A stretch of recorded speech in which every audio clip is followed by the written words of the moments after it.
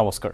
আপোনাক স্বাগতম জনাইছোঁ গাঁও চহৰ জিলাৰ খবৰলৈ। ষ্টুডিঅ'ত মই কৃপাঞ্জল ৰাজবংশী প্ৰথমটো খবৰ মাজুলীৰ পৰা জনাম।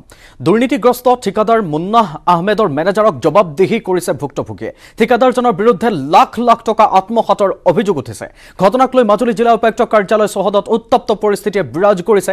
মুন্নাহ আহমেদৰ মেনেজাৰক উপায়ুক্ত কাৰ্যালয়ৰ পৰা ডিঙিত ধৰি থানালৈ চোচৰাই আনিছে কৰ্কট ৰোগীয়ে। গুৱাহাটীৰ মান্না আহমেদ নামৰ ঠিকাদাৰজনৰ মেনেজাৰগৰাকী আজি মাজুলীলৈ বিশেষ কামত অহাৰ খবৰ পাই উপায়ুক্ত কাৰ্যালয়তে আবদ্ধ কৰে। টকা পাবলৈ থকা ব্যক্তিকেইগৰাকীয়ে।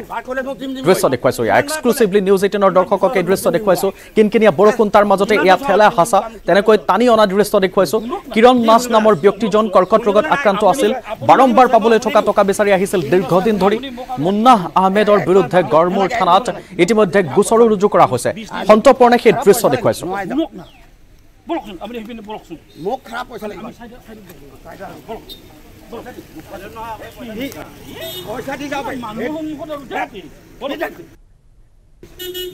মোক ইমান টকা দিবলৈ আছে মোক দিব পইচা লাগিবই পইচা লাগিবই দিম বুলি। এতিয়া পইচা লাগিব এই মাত্ৰ এইবাৰ দিছে কালি নালাগে এতিয়া পইচা লাগিব দিম বুলি কৈছো পইচা লাগিব আপোনাক শপত খাই পইচা লাগিবই মই নেমানো পইচা লাগিব মই মই চাপ্লাই দিয়া আজি তিনি বছৰ হ'ল তিনি বছৰে মই চাপ্লাই দি থকা অৱস্থাতে মোৰ অলপ অসুখ হ'ল কেঞ্চাৰ তেতিয়া কেতিয়াখন দিলে তাৰপৰা বাকী আজি দুবছৰ হ'ল পইচা পাতি নাই। কিমান টকা আছে পাবলৈ? এক লাখ ছসত্তৰ হাজাৰ টকা। কি কৈ আছে তেখেতে? দিম দিম দিম কৰি আৰু কাইলৈ দিম পৰহিলৈ দিম বিল হোৱা নাই। তেনেকৈ মোক আজি দুবছৰ চোৱাই আছে। মুনাফ কৰিছিলে তেখেতে? এই আমাৰ গড়মূৰ মিনি সচিবালয় বনাই আছে। এনেকৈ বহুতক আছে মোৰ নিচিনা বহুতক আছে। আঠজনমান লোক আছে। আপুনি আজি তেখেতক ক'ত লগ পালে? আজি মই ডি চি ছাৰ কিবা মিটিং আছিলে ঠিকাদাৰসকলৰ তালৈ আহিছিলে মই মানে দেখিলোঁ। দেখি তেখেতক ধৰি লৈ আহিছোঁ থানালৈ। এতিয়া গোচৰ দিছে এতিয়া গোচৰ দিছোঁ। এতিয়া তেখেতে ইয়াতে মোক কোৰ্ট এগ্ৰিমেণ্ট কৰিছে। মানে এইকেইদিন পোন্ধৰ তাৰিখে দিম বুলি। কাৰ ওপৰত আপুনি গোচৰটো ধৰিছে? এই তেখেতে আছিলে মেইন মুন্না আহমেদ মানে আমাৰ নিৰ্বাচনী প্ৰতিশ্ৰুতি মতে চৰকাৰৰ প্ৰথমটো বৰ্ষপূৰ্তিৰ ভিতৰত এক লাখ লোকক চৰকাৰী চাকৰি দিয়াৰ প্ৰক্ৰিয়া পলমকৈ হ'লেও শনিবাৰে আৰম্ভ কৰিব মুখ্যমন্ত্ৰী ডক্টৰ হিমন্ত বিশ্ব শৰ্মাই। শনিবাৰে মুঠ এঘাৰটা বিভাগত বাইছ হাজাৰ নশ আঠাৱন্নটা পদত নিযুক্তি পত্ৰ বিতৰণ কৰিব মুখ্যমন্ত্ৰী ডক্টৰ শৰ্মাই। এক লাখ চাকৰিত নিযুক্তি প্ৰক্ৰিয়া সন্দৰ্ভত কিন্তু শুকুৰবাৰে শাসক বিৰোধীৰ মাজত বাকযুদ্ধ লগাও দেখিবলৈ পোৱা গ'ল। কাইলৈ শনিবাৰ। কাইলৈ হ'ব এক লাখ চৰকাৰী চাকৰিৰ নিযুক্তি পত্ৰ বিতৰণৰ শুভাৰম্ভ। নিৰ্বাচনী প্ৰতিশ্ৰুতি ৰক্ষা কৰি আৰম্ভ কৰা নিযুক্তি প্ৰক্ৰিয়াত শনিবাৰে মুখ্যমন্ত্ৰী ডক্টৰ হিমন্ত বিশ্ব শৰ্মাই বিতৰণ কৰিব বাইছ হাজাৰ নশ আঠাৱন্নটা পদত নিযুক্তি পত্ৰ। মুঠ এঘাৰটা বিভাগত এই নিযুক্তি পত্ৰ বিতৰণ কৰা হ'ব। খানাপাৰা খেলপথাৰত শনিবাৰে পুৱা চাৰে এঘাৰ বজাত বিতৰণ কৰিবলগীয়া নিযুক্তি পত্ৰ। বিতৰণ অনুষ্ঠানত গৃহ বিভাগত নিযুক্তি পাব আঠ হাজাৰ আঠশ সাতষষ্ঠিজনে ইয়াৰ লগতে শিক্ষা বিভাগত এঘাৰ হাজাৰ তেষষ্ঠিজন জনস্বাস্থ্য কাৰিকৰী বিভাগত তিনিশ ত্ৰিশজন জলসম্পদত এশ পাঁচজন সমাজ কল্যাণত ঊনসত্তৰজন স্বাস্থ্য দুহেজাৰ চাৰিশ ঊনৈছজন কৃষিত পঁচপন্নজনে পাব নিযুক্তি। একেদৰে পৰিৱেশ আৰু বন বিভাগত তেইছজন লোক নিৰ্মাণত আঠজন খনি আৰু খনিজ পদাৰ্থত দুজন আৰু শ্ৰমিক কল্যাণত সোতৰজনে পাব নিযুক্তি। এই নিযুক্তি প্ৰক্ৰিয়া সন্দৰ্ভত মুখ্যমন্ত্ৰীৰ ৰাজনৈতিক সচিব তথা বিধায়ক জয়ন্ত মল্ল বৰুৱাই ক'লে প্ৰতিশ্ৰুতি মতে এক লাখ নিযুক্তিৰ প্ৰক্ৰিয়া চলাই আছে চৰকাৰে। এক লাখ নিযুক্তি ডিচেম্বৰৰ ভিতৰত চৰকাৰে সম্পূৰ্ণ কৰিব বুলিও ক'লে জয়ন্ত মল্লই। অহাকালি হেল্থ আৰু হোম ডিপাৰ্টমেণ্টৰ আৰু এডুকেশ্যন ডিপাৰ্টমেণ্টৰ তিনিটা এপইণ্টমেণ্ট হ'ব। একজেক্ট কাৰেক্ট সংখ্যাটো মোৰ মনত নাই কিন্তু মোটামুটি প্ৰায় পঁচিছৰ পৰা ত্ৰিছ হাজাৰ এপইণ্টমেণ্ট কালিৰ দিনটোতে হ'ব। গতিকে আমাৰ কথাটো হ'ল যে আমি যি কথা দিছিলোঁ যে এক লাখ চাকৰি এই এক লাখ চাকৰি আগন্তুক মানে ইতিমধ্যে প্ৰচেছ হৈ গৈছে আৰু মই আমাৰ আশা আছে অতি বেছি হ'লে ডিচেম্বৰ মানে এই দুহেজাৰ বাইছৰ ভিতৰত আমি এক লাখ চাকৰি কমপ্লিট কৰিম। ইপিনে এক লাখ চাকৰি ক'ত বুলি প্ৰশ্ন কৰিলে প্ৰদেশ কংগ্ৰেছৰ কাৰ্যকৰী সভাপতি তথা বিধায়ক জাকিৰ হুছেইন চিকদাৰে। জাকিৰ হুছেইন চিকদাৰে ক'লে নিযুক্তি পত্ৰ বিতৰণ অনুষ্ঠানত নিমন্ত্ৰণ নকৰিলেও যাম আৰু চাম। এতিয়া অপেক্ষাত আছোঁ যে সেই এক লাখ নিযুক্তি পত্ৰ বিতৰণৰ অনুষ্ঠান কেতিয়া পাতিব আৰু তাত আমাক যদি নামাতেও নামাতিলেও আমি সেই অনুষ্ঠানত যাই সমভাগী হ'ম। আৰু হিমন্ত বিশ্ব শৰ্মাৰ লগতে অসম চৰকাৰক ধন্যবাদ জনাম। লগতে জাকিৰে ক'লে বিজেপিৰ দিনত এটাও নিযুক্তি প্ৰক্ৰিয়া স্বচ্ছ হোৱা নাই। কোনোবাই স্বচ্ছ আৰু নিকা নিযুক্তিৰ ক্ষেত্ৰত যদি প্ৰশ্ন কাৰোবাক কৰে আৰু সেই ব্যক্তিসকল যদি বা সেই ডিপাৰ্টমেণ্ট বা সেই চৰকাৰ যদি স্বচ্ছ নিকা হয় বুকু ফিন্দাই তাৰ উত্তৰ দিব লাগে কিন্তু এই চৰকাৰে তাৰ উত্তৰ নিদিয়ে। বিৰোধী কংগ্ৰেছৰ এই দাবীক নৎসাত কৰিলে মুখ্যমন্ত্ৰীৰ ৰাজনৈতিক সচিব জয়ন্ত মল্লবৰুৱাই জয়ন্তই ক'লে চাকৰি কেনেকৈ দিয়ে তাক নজনাকৈ বিৰোধীয়ে সমালোচনা কৰিছে। বিজু কুমাৰ ডেকাৰ report News Eighteen Assam North East.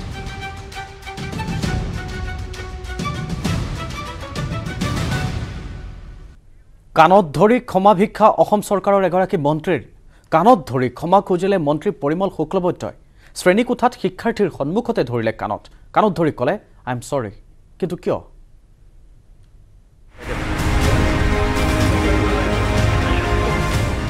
কাণত ধৰিলে মন্ত্ৰী পৰিমলে। ক্ষমাও খুজিলে মন্ত্ৰী পৰিমল শুক্লবৈদ্যই।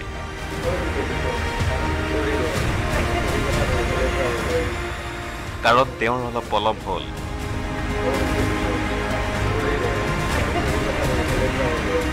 দুধনৈৰ এখন বিদ্যালয়ত গুণোৎসৱত অংশ ল'বলৈ গৈছিল বন মন্ত্ৰী পৰিমল শুক্লবৈদ্য।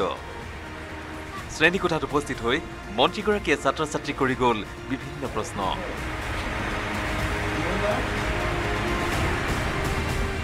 পিছে এইগৰাকী বন মন্ত্ৰী পৰিমল শুক্লবৈদ্যৰ কাৰ্যকালতে মুখ্যমন্ত্ৰী হিমন্ত বিশ্ব শৰ্মা চৰকাৰৰ দিনত প্ৰথমটো গড়ৰ খৰ্গ চিকাৰৰ ঘটনা সংঘটিত হৈছে। ওৰাঙত জীয়াই জীয়াই গড়ৰ খৰ্গকতাক লৈ সৃষ্টি হৈছে ব্যাপক চাঞ্চল্যৰ। এই সন্দৰ্ভত বন মন্ত্ৰীয়ে প্ৰতিক্ৰিয়া প্ৰকাশ কৰি ক'লে গড়ে গড়ে যুদ্ধ লাগিবও পাৰে চোৰাং চিকাৰীয়ে কাটিবও পাৰে। এতিয়ালৈকে কনফাৰ্ম নহয় চোৰাং চিকাৰীয়ে দুষ্কাৰ্য সংঘটিত কৰিছে নে নাই। এতিয়ালৈকে আমি কনফাৰ্ম কৰিব পৰা নাই যে এইটো কাটি লৈ গৈছে না ইনফাইটিঙত এইটো পৰিছে। চোৰাং চিকাৰীয়ে খৰ্গ কাটিলে ট্ৰেংকুলাইজ কৰিব লাগিব। ট্ৰেংকুলাইজ কৰিবলৈ হ'লে পশু চিকিৎসক জড়িত থাকিব লাগিব। গোটেই বিষয়টো তদন্তৰ আওতাত বুলি মন্তব্য কৰিলে মন্ত্ৰী পৰিমল শুক্লবৈদ্যই। যদি মানে কোনো মানুহে এইটো কাটিছে তেনেহ'লে ট্ৰেংকুলাইজ কৰিব লাগিব। নিশ্চিতভাৱে কোনো ভেটেনেৰিয়ান ইয়াতে জড়িত থাকিব লাগিব। দুধনৈৰ পৰা অৰুণ নাথৰ report News Eighteen Assam North East.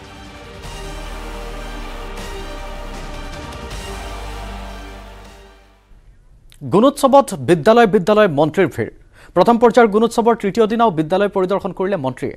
একাংশ মন্ত্ৰীয়ে শিক্ষকৰ ৰূপত ছাত্ৰ ছাত্ৰীক কৰে পাঠদান। গুণোৎসৱ পালনৰ মাজতে একাংশ শিক্ষানুষ্ঠানৰ দুৰৱস্থাৰ ছবিয়ে উদঙাইছে চৰকাৰৰ উন্নয়নমূলক কামৰ নগ্ন স্বৰূপ। প্ৰথম পৰ্যায়ৰ গুণোৎসৱৰ আজি তৃতীয় দিন। তৃতীয় দিনাও বিদ্যালয়ে বিদ্যালয়ে মন্ত্ৰীৰ ভিৰ। কোনোগৰাকী মন্ত্ৰীয়ে যদি শিক্ষকৰ ৰূপত অৱতীৰ্ণ হৈছে আন কোনোগৰাকীয়ে আকৌ ছাত্ৰ ছাত্ৰী শিক্ষকৰ সৈতে মত বিনিময়ত অংশ লৈছে। এয়া নগাঁও শৈবৰ গাঁও বালিকা বিদ্যালয়ৰ দৃশ্য। বিত্তমন্ত্ৰী অজন্তা নেওগে শিক্ষকৰ ৰূপত প্ৰৱেশ কৰিছে শ্ৰেণীয়ে শ্ৰেণীয়ে। তেওঁ লগতে চৰকাৰী বিদ্যালয়ত নিজৰ সন্তানক ভৰ্তি কৰোৱাত গুৰুত্ব প্ৰদান কৰে।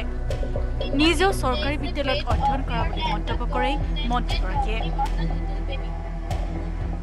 আজি মই মই যিখন বিদ্যালয়ত পঢ়িছিলোঁ মই সেইটো কথা উদাহৰণ দিছোঁ যে সেই আচলতে শিক্ষাৰ মানদণ্ডটোহে আচল কথা। আজি সাংঘাতিক ধৰণে ধৰা আন্তঃগাঁথনি বৃদ্ধি হ'লেও সেইটো যে এনেকুৱা নহয় যে আজি ডাঙৰ ডাঙৰ ইনফ্ৰাষ্ট্ৰাকচাৰ হৈছে যদি তাৰ মানদণ্ড শিক্ষাৰ মানদণ্ড উন্নত নহয় তেতিয়াহ'লেতো আমি আগবাঢ়ি যাব নোৱাৰিম। বেছিক কথাটো হ'ল যে ইয়াৰ ইনফ্ৰাষ্ট্ৰাকচাৰো লাগিব আৰু লগতে সকলোকে যিটো প্ৰয়োজনীয় কথা মানদণ্ড। ৰহা বালিকা উচ্চ মাধ্যমিক বিদ্যালয় পৰিদৰ্শন কৰে স্বাস্থ্যমন্ত্ৰী কেশৱ মহন্তই। শিক্ষক শিক্ষয়িত্ৰীৰ সৈতে মত বিনিময় কৰে মন্ত্ৰীগৰাকীয়ে। কলিয়াবৰ কুঠুৰী চৰকাৰী নিম্ন বুনিয়াদী বিদ্যালয়ত কৃষিমন্ত্ৰী অতুল বৰাৰ অংশগ্ৰহণ। বিদ্যালয়খন পৰিদৰ্শন কৰি অভাৱ অভিযোগৰ বুজ লোৱাৰ লগতে শিক্ষক ছাত্ৰ ছাত্ৰী অভিভাৱকৰ লগত মত বিনিময় কৰে। বিদ্যালয়খনত মন্ত্ৰীগৰাকীয়ে ছাত্ৰ ছাত্ৰীৰ নৃত্যানুষ্ঠানো উপভোগ কৰে। কুঁৱৰীটোল উচ্চতৰ মাধ্যমিক বিদ্যালয়ৰ পৰিদৰ্শন মন্ত্ৰী অতুল বৰাৰ। ৰাজ্যৰ বিদ্যালয়ে বিদ্যালয়ে ধুমধামেৰে পালন কৰা হৈছে গুণোৎসৱ তেনে সময়তেই বিভিন্ন শিক্ষানুষ্ঠানৰ দুৰৱস্থাৰ ছবিয়ে উদঙাইছে চৰকাৰৰ উন্নয়নৰ নগ্নস্বৰূপ। কলিয়াবৰ নিজৰি বস্তিৰ প্ৰাথমিক বিদ্যালয়ত মাত্ৰ এজন শিক্ষকে শতাধিক ছাত্ৰ ছাত্ৰীক দিব লগা হৈছে পাঠদান। বিদ্যালয়খনত শীঘ্ৰেই শিক্ষক নিযুক্তিৰ দাবী ৰাইজৰ। ছাত্ৰ ছাত্ৰীৰ প্ৰায় এশ আছে আৰু এশ ছাত্ৰ ছাত্ৰীক তাৰমানে অকলে শিক্ষাদান কৰাটো অতি তাৰমানে কষ্টকৰ কাম আৰু। ইমান অকলে এজন টিচাৰে ইমানখিনি কৰিব নোৱাৰি। তথাপিও মই পৰিচালনা কমিটিৰ সহযোগত মাতৃগোটৰ সহযোগত মই চলাই আছোঁ। তেওঁলোকৰ সহযোগিতাৰ কাৰণে আজি মই আজিলৈকে সুকলমে চলাব পাৰিছোঁ আৰু বুলি ক'ব পাৰি। কিন্তু আমাৰ ইয়াত শিক্ষকৰ অভাৱ আছে।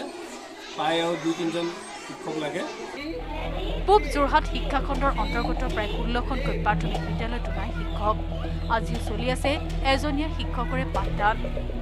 স্থানীয় শিক্ষক নিযুক্তি নিদিয়াৰ ফলত ছাত্ৰ ছাত্ৰীয়ে শৈক্ষিক জীৱন অনিশ্চিতলৈ গতি কৰাৰ অভিযোগ। Bureau' report News Eighteen Assam North East.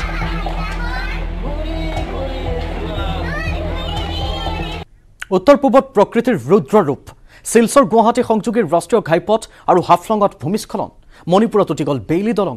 মানকাচৰত বানৰ প্ৰকোপ। বৈঠালাংছত অন কেমেৰা বানে উটুৱাই নিলে বাঁহৰ দলং।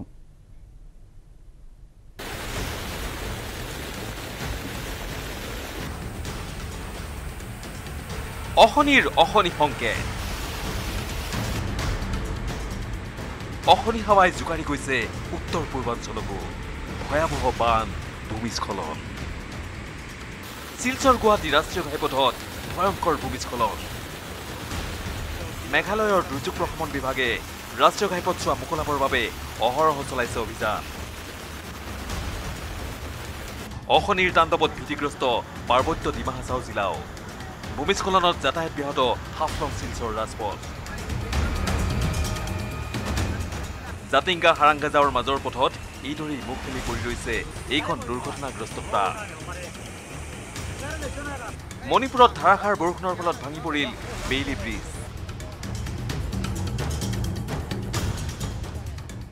ইম্ফল জিৰিবাম ঘাইপথত থকা ইৰাং বেইলি দলংখন বৃহস্পতিবাৰে এইদৰেই ভাঙি পৰিল। যাৰ ফলত দুয়োপাৰে আবদ্ধ হৈ পৰে শ যান বাহন। এয়া মানকাচৰৰ বানৰ দৃশ্য।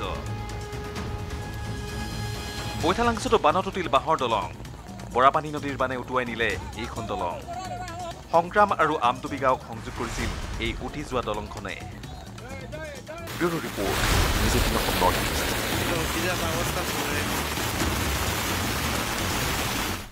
নিজৰ স্থিতিত অটল উত্তৰ পূব পেট্ৰল ডিলাৰ এছ'চিয়েশ্যন চৌব্বিছ ঘণ্টীয়া বন্ধ প্ৰত্যাহাৰ নকৰাৰ সিদ্ধান্ত ঘোষণা কৰিছে ডিলাৰ এছ'চিয়েশ্যনে।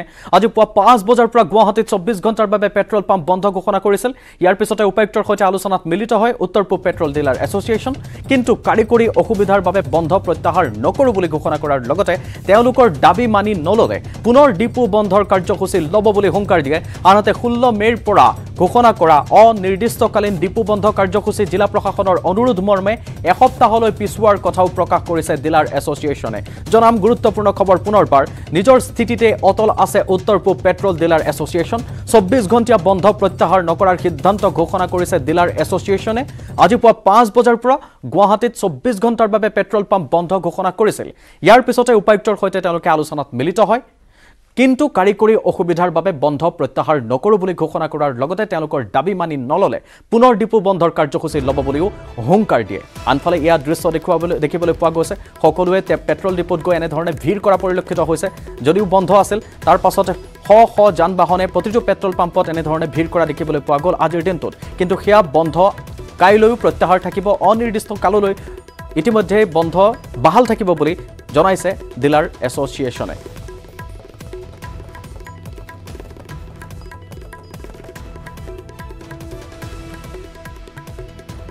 খানাপাৰাৰ তেল ডিপুসমূহত শ শ লোকৰ ভিৰ লাগিছে এনেদৰে। শুকুৰবাৰে গুৱাহাটীৰ পেট্ৰল ডিপুসমূহ বন্ধ হোৱাৰ পৰিপ্ৰেক্ষিতত মেঘালয়ৰ ফালে খানাপাৰাৰ তেল ডিপুসমূহত এতিয়া শ শ লোকে ভিৰ কৰিছে যাৰ বাবে যান জঁটৰো সৃষ্টি হৈছে। যান জঁটৰ মাজত মন্ত্ৰী বিধায়কৰ গাড়ীও আবদ্ধ হৈ পৰা দেখিবলৈ পোৱা গৈছে। কাৰণ অসম বন্ধ সমীপৱৰ্তী সেইখন মেঘালয় আৰু মেঘালয়ত যিহেতু খোলা আছে গতিকে তালৈ ঢাপলি মেলিছে সকলোৱে। আৰু এনে দৃশ্য এতিয়া প্ৰায় সুলভ হোৱা দেখিবলৈ পোৱা গৈছে। বন্ধ গুৱাহাটীৰ সকলো তেল ডিপু গতিকে এতিয়া মেঘালয়লৈ ঢাপলি মালিছে মেলিছে তেল ভৰাবলৈ। খানাপাৰাৰ তেল ডিপুত এইদৰে গ্ৰাহকে ভিৰ কৰা পৰিলক্ষিত হৈছে। অন্যান্য তেল ডিপুসমূহতো লোক আহিছে তাৰ পৰা তেওঁলোক উভতি গৈছে আৰু খানাপাৰা অভিমুখী হৈছে। তাৰ ফলত তীব্ৰ যান জঁটৰ সৃষ্টি হোৱা দেখিবলৈ পোৱা গ'ল।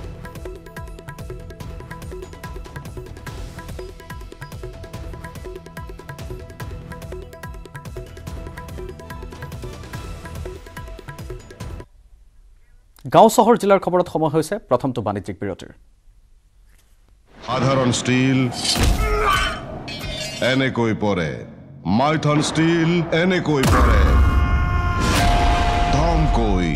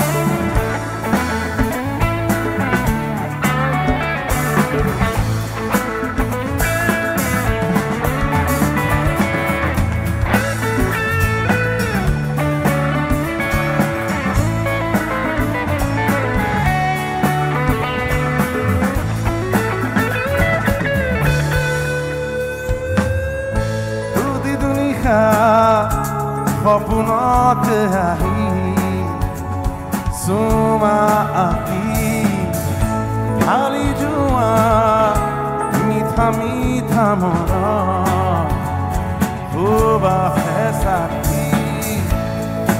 우르르 먼 해가 구르기.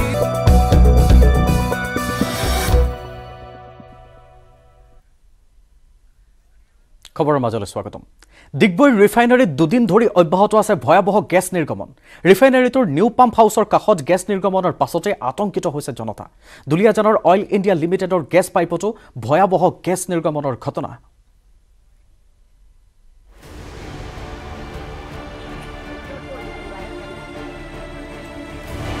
দুলীয়াজান আৰু ডিগবৈত আতংকিত জনতা।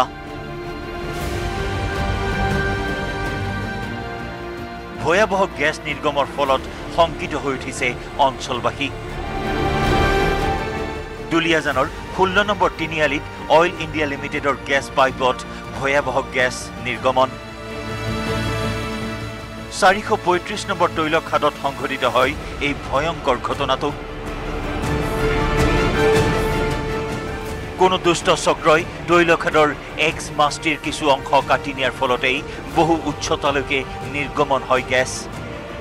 আতংকিত জনতাই দিক বিদিক হেৰুৱাই নিৰাপদ দূৰত্বলৈ পলায়ন কৰে। হঠাৎ জুই চব মানে ধোঁৱাই বেৰি ভৰিলে ধৰি ধোঁৱা দেখাৰ লগে লগে মই ওচৰ চুবুৰীয়াক লগালগে সকলোকে ফোন কৰি দিলোঁ যে আপোনালোকৰ গেছ লাইট বন্ধ কৰক আমাৰ খাদত এনেকুৱা জুই মানে ধোঁৱা ওলাইছে। মানে খাদৰ লগতে লাগি থকা মানুহ। আমি আজি যি কোৱা ধোঁৱা ওলালে আমি বহুত ভয় খালোঁ।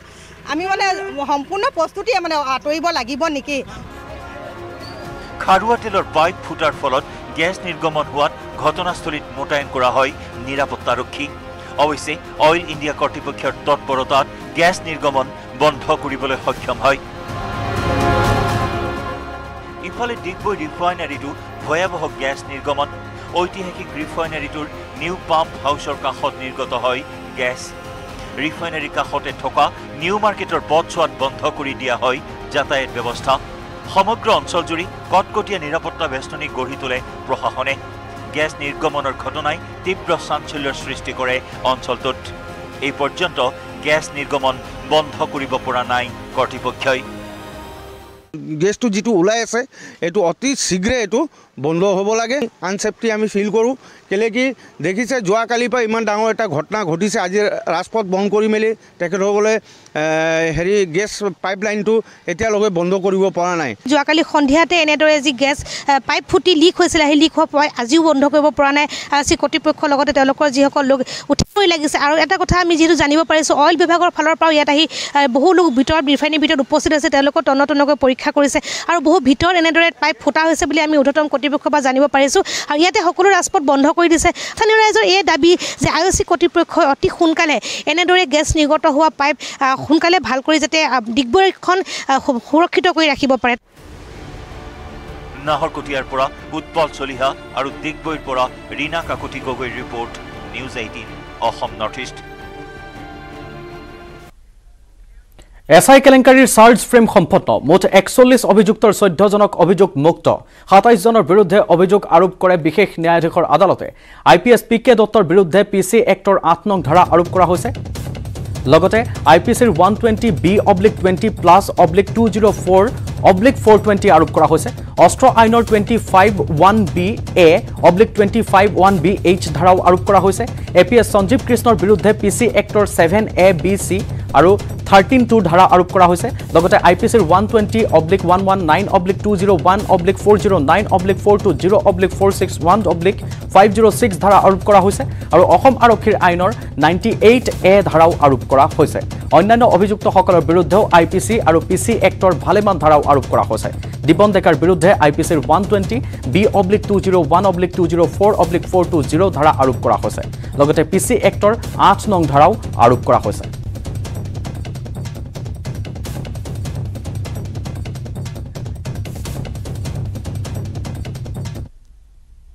শিলচৰৰ ডলু চাহ বাগিচাত দ্বিতীয় দিনাও অব্যাহত আছে প্ৰশাসনৰ বুলডোজাৰ। প্ৰতিবাদী শ্ৰমিকৰ প্ৰতিবাদকো নেওচি এক্সকেভেটৰে এফালৰ পৰা উভালি পেলাইছে চাহগছ চাহগছৰ লগতে উভালি পেলোৱা হৈছে চাহগছক ছাঁ দিয়া ডাঙৰ গছসমূহো।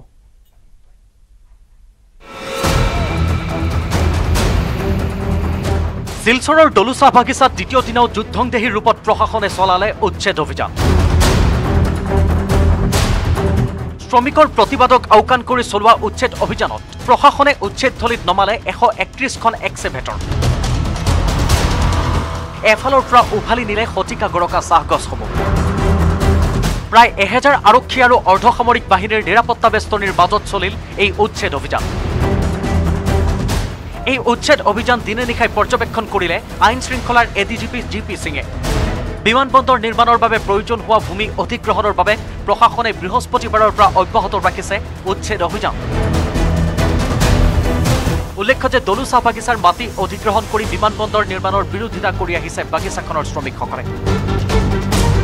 শ্ৰমিকসকলৰ ভৱিষ্যতৰ কথা চিন্তা কৰি উপযুক্ত ব্যৱস্থা গ্ৰহণৰ দাবী বিভিন্ন দল সংগঠনৰ। একমাত্ৰ জীৱন আৰু জীৱিকাৰ থলী এই দুলু মইনাগড় চাহ বাগিচা উচ্ছেদ কৰাৰ সময়ত বৰ্তমানৰ মুখ্যমন্ত্ৰী হিমন্ত বিশ্ব শৰ্মা ডাঙৰীয়াই শ্ৰমিকসকলৰ লগত আলোচনা কৰাৰ ন্যূনতম সৌজন্যতাবোধ নকৰাটো অত্যন্ত নিন্দনীয় এটা অন্ধকাৰ ভৱিষ্যতৰ ফালে ঠেলি দি এই ধৰণৰ কাৰ্য চৰকাৰে সমগ্ৰ ৰাজ্যখনত যে শ্ৰমিক বিৰোধী নীতি অৱলম্বন কৰিছে তাৰ স্পষ্ট প্ৰমাণ আমি পাইছোঁ। আনহাতে বাগিচা উচ্ছেদ কৰাৰ বাবে শ্ৰমিকসকল লাভান্বিত হ'ব বুলি দাবী কৰিছে চাহ জনগোষ্ঠীৰ বিধায়ক ৰূপজ্যোতি কৰ্মীয়ে। এতিয়া এই এগ্ৰিমেণ্টৰ ভিত্তিত যি টকা মাটিৰ বিনিময়ত বাগানখনে পাইছে জিলা উপায়ুক্তৰ পৰা এইটো শ্ৰমিকৰ খাটালৈ গুচি গৈছে প্ৰত্যেকৰ খাটালে আৰু তেওঁলোকে পি এফ গ্ৰেচুইটি লাভ কৰিছে।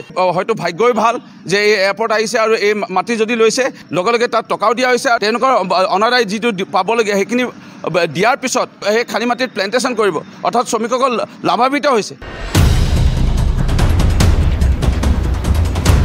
শিলচৰৰ পৰা Aniruddha Laskar. News Eighteen North East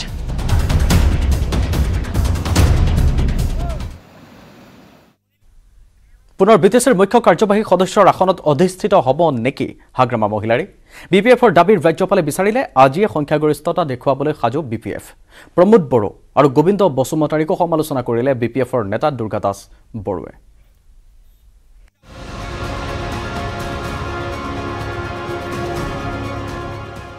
B T চিৰ মুখ্য কাৰ্যবাহী সদস্য হ'ব নেকি হাগ্ৰামা মহিলাৰী? প্ৰমোদ বড়োৰ প্ৰতি আস্থা হেৰুৱাইছে নেকি ইউ পি পি এলৰ ই এম এম চি এলে প্ৰমোদ বড়োৰ দলৰ নিৰ্বাচিত প্ৰতিনিধিয়ে এতিয়া হাগ্ৰামা মহিলাৰীক পুনৰ বি টি চি চিফ হিচাপে বিচাৰিছে। হাগ্ৰামা মহিলাৰীৰ সৈতে কৰিছে সঘন যোগাযোগ। নিউজ এইটিনৰ সন্মুখত এই দাবী বি পি এফৰ বিধায়িনী দলৰ নেতা দুৰ্গা দাস বড়োৰ কলাইকা সমষ্টিৰ বি পি এফ বিধায়ক দুৰ্গা দাস বড়োৱে লগতে কয় যে ৰাজ্যপাল আৰু মুখ্যমন্ত্ৰীয়ে বিচাৰিলে আজিয়ে সংখ্যাগৰিষ্ঠতা দেখুৱাবলৈ সাজু বি পি এফ শাসকীয় মিত্ৰজোঁটৰ চৰকাৰৰ সৈতে ফ্ল'ৰ কৰ্ডিনেশ্যনত আছে ইউ পি পি এল আৰু বি পি এফ তাৰ মাজতে সংঘাত আৰম্ভ। বি পি এফ বনাম ইউ পি পি এলৰ বি পি এফৰ বিধায়ক দুৰ্গা দাস বড়োৱে মুকলিকৈ সমালোচনা কৰিছে বি টি চিৰ মুৰব্বী প্ৰমোদ বড়ো আৰু ডেপুটি চিফ তথা বিধায়ক গোবিন্দ বসুমতাৰীক গোবিন্দ বসুমতাৰীয়ে ভৈৰৱকুণ্ডৰ এম চি এলে বি টি চিৰ ডেপুটি চিফ আৰু ওদালগুৰিৰ বিধায়ক হৈ আছে। ইউ পি পি এলত নেতাৰ অভাৱৰ বাবেই গোবিন্দ বসুমতাৰীয়ে তিনি চাৰি পদবী খামুচি আছে বুলি কটাক্ষ দুৰ্গা দাস বড়োৰ। তেওঁ এফালে এম চি এল এ হৈ আছে। এম চি এল এ সূত্ৰে তেওঁ ডেপুটি চিফ হৈ আছে। তাৰোপৰি তেওঁ মানে এম এল এ ইলেকশ্যন খেলিলে তেওঁ এম এল এ হৈ আছে। এতিয়া আমিতো বাতৰি কাকত চবফালে গম পাইছোঁ যে তেওঁ মন্ত্ৰীৰ কাৰণে ৰখি আছে। যদি মন্ত্ৰী হয় তেওঁ তাৰমানে আৰু তেওঁলোকৰ দলত মানুহ আছেনে নাই মোৰ সন্দেহ হৈছে। প্ৰমোদ বড়োৱে গৈবাৰী ৰাখি ককিলাবাৰী এৰি দিলে। সেয়ে আঠ জুনত ককিলাবাৰী সমষ্টিত উপ নিৰ্বাচন অনুষ্ঠিত হ'ব। উপ নিৰ্বাচনৰ বাবে হাগ্ৰামা মহিলাৰী নেতৃত্বাধীন বি পি এফ দল সাজু। বি পি এফৰ প্ৰাৰ্থী বহু ভোটত জয় হ'ব বুলি কয় দলটোৰ নেতাগৰাকীয়ে। এগৰা প্ৰমোদ বড়োৱে নিৰ্বাচন খেলিছিল তাত আৰু তেওঁলোকে নিৰ্বাচন খেলাৰ সময়ত দুটা ছিটত যিহেতু প্ৰমোদ বড়ো খেলিছিল সেই ছিটটো প্ৰমোদ বড়ো যে চি এম হ'ব সেইকাৰণেও এটা ভোট তেওঁলোকে পাইছিল। আজিৰ দিনটোত তেওঁলোকেতো আৰু দ্বিতীয়বাৰ ফাঁকি দিব নোৱাৰে। গোবিন্দ বসুমতাৰীয়ে ভৈৰৱকুণ্ড এৰি দিলে তাতেও বি পি এফ জয় হলহেঁতেন বুলি কয় দুৰ্গা দাস বড়োৱে। দুয়ো দলৰ নেতাৰ আক্ৰমণ প্ৰত্যাক্ৰমণত এটা কথা স্পষ্ট হৈছে যে বি টি চিৰ চি ই এম পদক লৈ বড়োৰ ৰাজনীতি এতিয়া ভিতৰি ভিতৰি উত্তপ্ত হৈ আছে। বিপুল বৰ্মনৰ report News Eighteen Assam North East.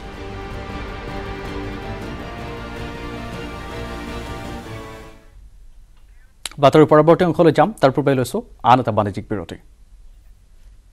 সাধাৰণ ষ্টীল এনেকৈ পৰে। মাইথন ষ্টীল এনেকৈ পৰে। ধমকৈ।